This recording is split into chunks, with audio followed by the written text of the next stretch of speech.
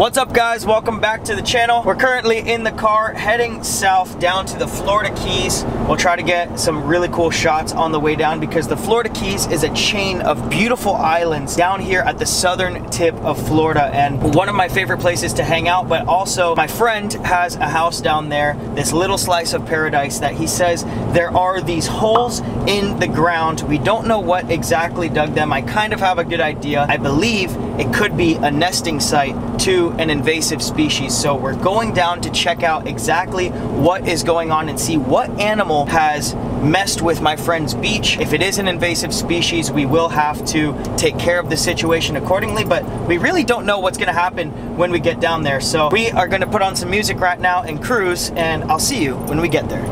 So we are down here in the Florida Keys now, and guys, take a spin around with the camera. Look how beautiful this area is. You can see why any animal, even a person would want to move down here or live down here. You've got beautiful mangroves right here, the coastline on the Florida Bay. It is just a beautiful area to be and I am very excited to see what is going on over here. I think the beach is our area of concern right now, so let's go see what is going on.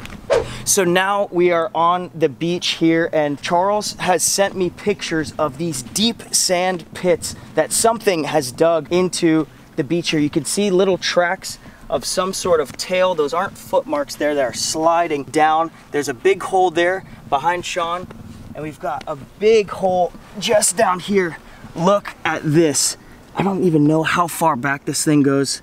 If we stick our hand, is there an animal in here? I don't believe there's anything in here, and this sand is pretty tough. I mean, on the top layer, it's pretty easy to break up, but down here you can see it's actually holding its shape and creating this deep cave, but I think we need to dig into here and see what's going on. Another thing that Charles saw last night, just last night, he called me on FaceTime late in the evening and he showed me that there was a crocodile coming up from the bank and actually moved up into his yard. If we come over here, right here where we are sitting is where the crocodile was laying last night and she does look like she could be gravid. Look at this image right here next to where Charles' mom loves to suntan. We've got this big beautiful crocodile that's come into here. I don't know if it's a male or female, but it is nesting season. So she's probably looking for some similar sand to whatever has laid eggs over there for her to create her nesting spot, but this is not really the right place for her to nest because there's so many people in this neighborhood.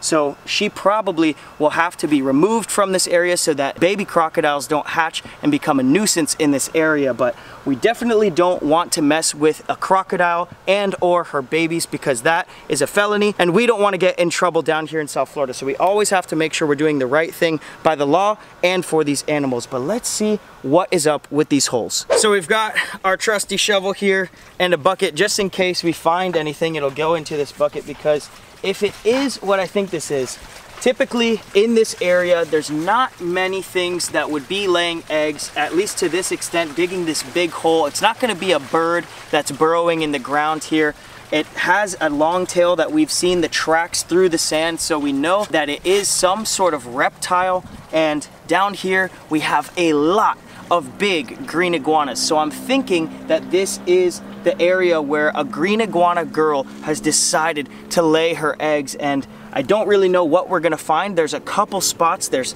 obviously this cave here. There's a mound right here. There's this cave here. There's a mound over there. There's a mound over there. I don't really know what we're gonna find or if we're gonna find anything at all but let's start digging and see what happens. So this is the first hole that we're gonna check. You can see they've got this thick speaker wire running here. The only reason we are messing with this, let's see, let's feel if there's anything inside. All right, all I feel right now is just sand, but I believe if an iguana did want to lay here, what it's gonna do is it's gonna dig down just as far as she thinks is appropriate, and she's gonna test what the soil or what the ground feels like to see if it's adequate for her babies. And if she doesn't like it, she's gonna move somewhere else, which is why we probably have a test hole there, a test hole here, and some mounds over there because typically these iguanas are gonna wanna cover these holes so that their eggs are protected and no raccoons or any other predators can get inside of there. But this is a problem that we're seeing with these iguanas is this stuff is happening on our seawalls and under big structures, which is causing the concrete and other things to cave in. And it's causing a lot of destruction to our seawalls down here on the coast of South Florida. We're gonna dig down in here. I don't think there's anything in this hole. Yeah, I don't think there's anything in there. Let's move on to this one here. Oh, this one doesn't even go back nearly as far. This one goes just about there, about six to eight inches. So this is probably the first hole they dug and realized that it's not appropriate. And then they probably came over there, dug a little deeper and said, nope, this doesn't feel right here. And then they might have moved over there behind me. But Charles' dad does have some pictures. We just heard when he was here yesterday, he saw some iguanas messing around in the sand. I'm gonna try to get some of those videos. Big mound set up here, just nearby. I'm trying to feel where the ground is a little more soft.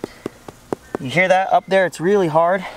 This seems like it was dug through very hard because all this sand looks the same so you don't know exactly where these things are and how deep we'll have to go to find these eggs. It seemed like the ground was softer back here after we dug through the top layer of this mound, but we're still not finding anything. So before we keep looking here, I wanna check this mound because if you come over here, it looks like there's definitely been a lot of commotion here. This looks like the most promising spot out of all of the areas that we've checked so far.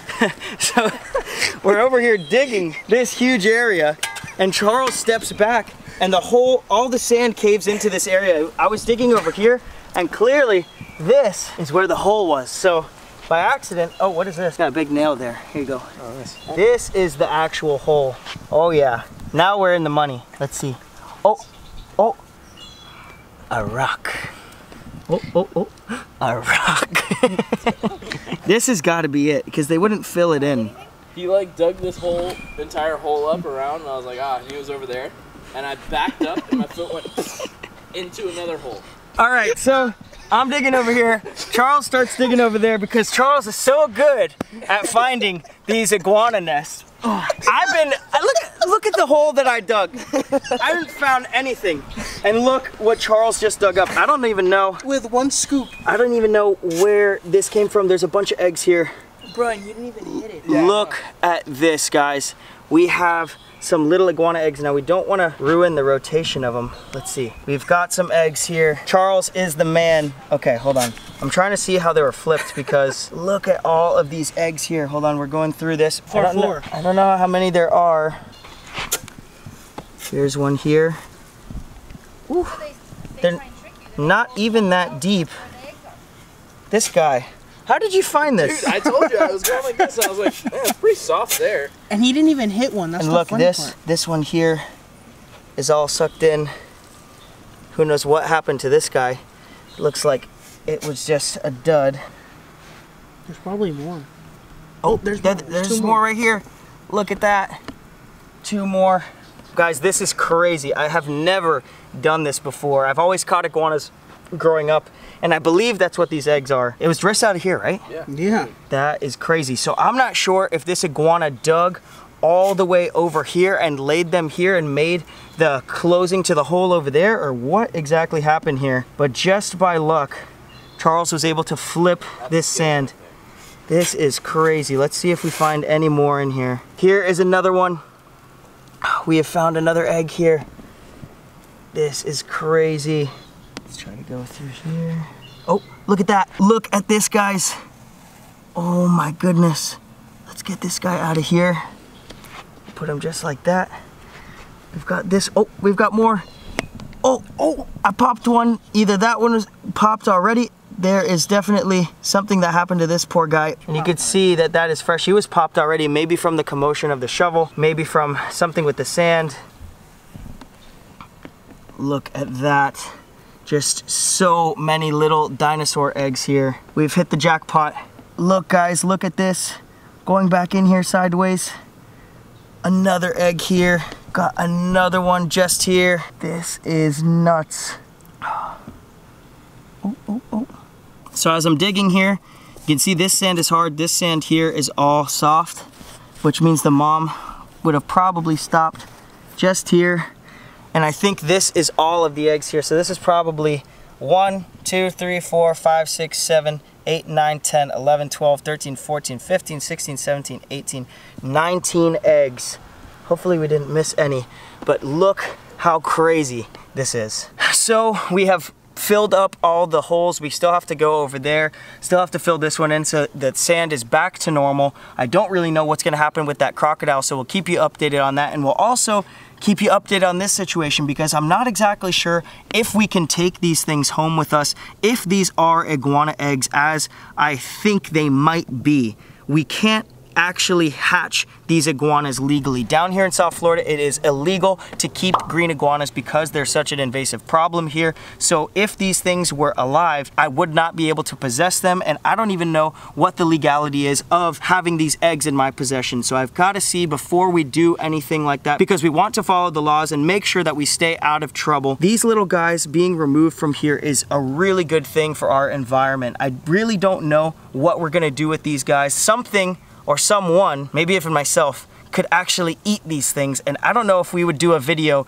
eating iguana eggs. Now, we're just gonna roll this on out. You guys are just gonna have to subscribe to the channel, click that notification icon, and be notified when the next video comes out to see what happens. I'll see you guys next time. Peace.